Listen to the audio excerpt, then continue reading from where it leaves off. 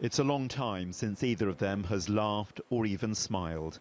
But Felipe and his son Christopher are making the most of being back together.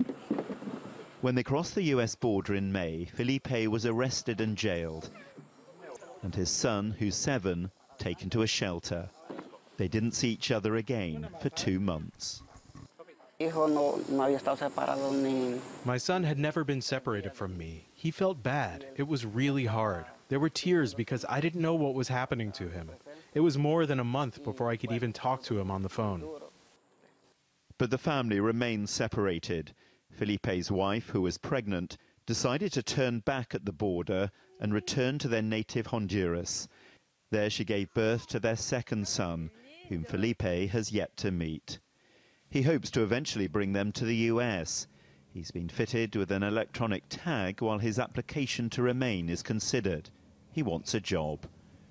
That's very telling, um, you know, when, when you hear stories of people coming through the border to, to um, take advantage of the American system and American lifestyle. No, the first question is always, can I start working now? Um, there is no guarantee that he would not be subject to removed, to be deported. But Felipe is convinced the ordeal he and his family have endured will be worth it. We came here because Honduras is going through a difficult situation. Job opportunities are almost zero. That is why we came to this country, to get more opportunities, a better future.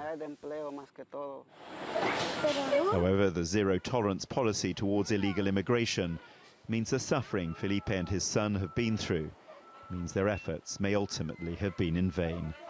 Jon Brain, TRT World, Virginia.